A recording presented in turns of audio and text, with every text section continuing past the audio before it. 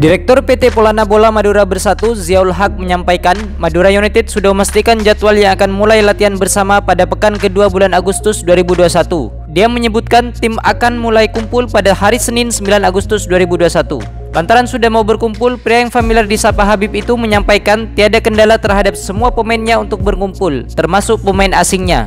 Sebab Legion asing Madura United masih ada di Indonesia, tepatnya di kota Surabaya. Direktur asal Pamekasan ini membandingkan dengan sejumlah klub yang pemain asingnya masih berada di luar Indonesia.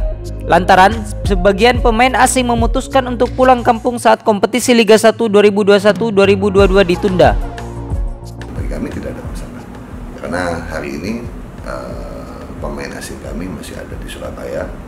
Tidak ada satupun pemain yang pulang. Bahkan di tengah-tengah pandemi ini mereka tetap berlatih dan tentunya manajer coach dan ini coach MD terima kasih sudah sudah mengarahkan pemain ke, ke menjadi apa pelatihan mandiri dan seluruh staf jajaran pelatih dan kami diberitahu apa yang menjadi agenda itu jadi uh, tinggal nanti bagaimana uh, kami percepatan. Semoga ke depan dengan dengan jadwal yang begitu uh, uh, ini tidak menjadi persoalan cedera atau dan, dan sebagainya.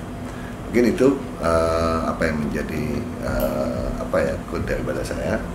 Kita harapkan kompetisi ini berjalan baik uh, sesuai target.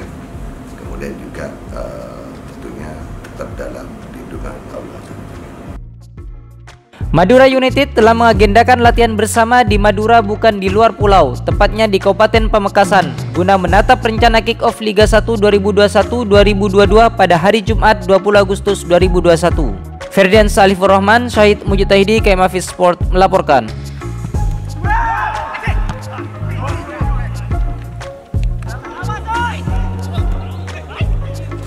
Good.